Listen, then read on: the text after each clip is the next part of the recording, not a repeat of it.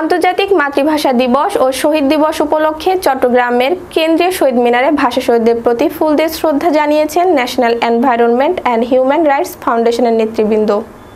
এর আগে সংগঠনটির পক্ষ থেকে এক বর্ণাঢ্য র্যালির বে করা হয়। র্যালিটি নিউ মার্কেট মোড় প্রদক্ষিণ করে শহীদ মিনার প্রাঙ্গণে এসে শেষ হয়। এ সময় উপস্থিত ছিলেন এনইএইচ, আরএফ ও চ্যানেল কর্ণফুলীর চেয়ারম্যান মোহাম্মদ আব্দুল আজিজ, সংগঠনের মহাসচিব আব্দুল মান্নান, ভাইস চেয়ারম্যান রোকসানা লাভলি যুগ্ম সম্পাদক সাদ্দাম আব্দুল করিম, স্বাস্থ্য বিষয়ক সম্পাদক এম এ হাওলাদার, জেলা সাধারণ সম্পাদক মামুন, মৌলানা খলিলুর রহমান, মোহাম্মদ হেলাল উদ্দিন প্রমুখ।